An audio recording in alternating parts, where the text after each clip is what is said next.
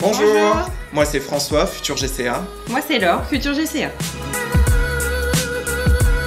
Non, non, GCA c'est pas du tout un nom de code. GCA ça signifie gestionnaire conseil allocataire. Cependant, le GCA a quand même des missions. La première c'est de traiter les dossiers des allocataires sur toutes les prestations CAF. Et la deuxième mission c'est de accompagner et informer les allocataires à la fois à l'accueil, en rendez-vous ou dans les démarches en ligne. Alors il existe une réelle sélection. En ce qui nous concerne, nous avons dû déposer un CV, une lettre de motivation. Ensuite, nous avons passé un écrit et un oral devant deux jurys différents.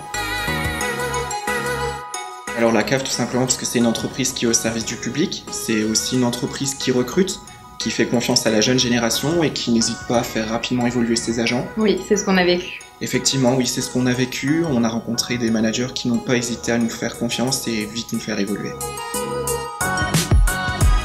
Alors c'est 9 mois de formation avec des cours euh, théoriques sur toutes les prestations et une mise en application avec des techniciens déjà en poste. Surtout n'oublie pas les 18 000 règles de droit à simuler. Oui, et les cours de sociaux qui permettent d'orienter au mieux la locataire.